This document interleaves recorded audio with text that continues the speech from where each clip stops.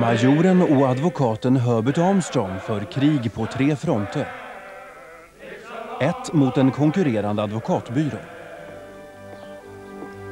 Ett annat mot maskrosorna som tar död på trädgården.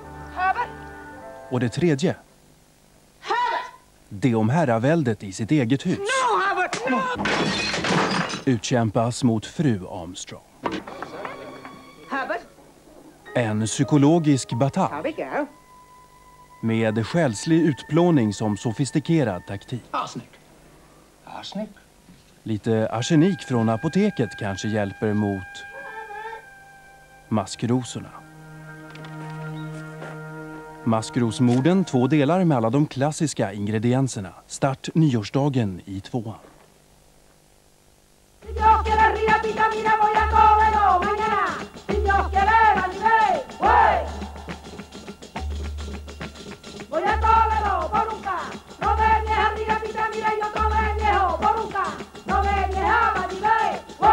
Sevillanas är en passionerad dans och musikstil. Har man en gång tagit den till sitt hjärta fortsätter man, ung som gammal. Sevillanas, en dansföreställning utöver det vanliga. Nyårsafton i tvåan.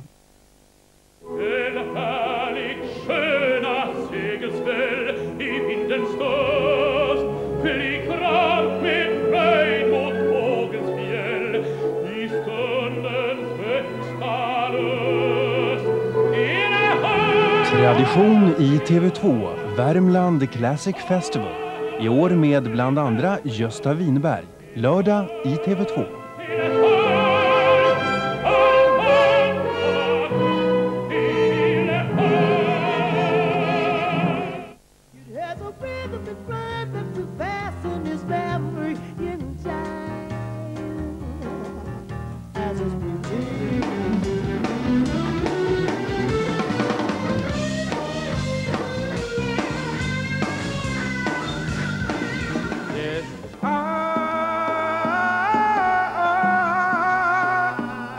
Visualize it all.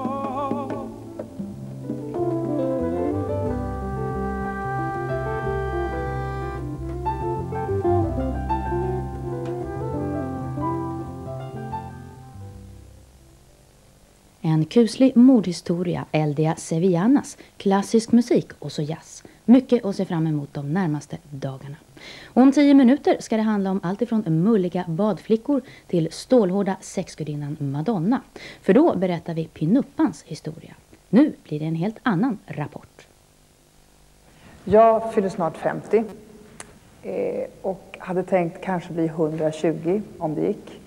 Om jag nu aktar mig för eh, eh, fria radikaler som man ska akta sig för och äter antioxidanter. Är det då möjligt att förlänga livet? Och då talar jag alltså inte om att från att, att vara 89 till att bli 91 utan att verkligen förlänga livet. Ja, kan man förlänga livet? Svaret på den frågan och många andra får ni i övermorgon klockan 21 i Fråga Lund. Pinuppa, ett laddat ord. Hos många väcker hon nostalgisk förväntan, andra blir moraliskt upprörda. Men vad betyder pinuppa egentligen? Ja, kvinnoidealet har ju i alla tider avbildats i mer eller mindre utmanande skick. Men det var när fotografiet fick sitt genombrott som själva ordet bildades. Då började man göra vykort eller franska kort som man kunde sätta upp på väggen. Och sätta upp blir pin-up på engelska. Och det här är hennes historia.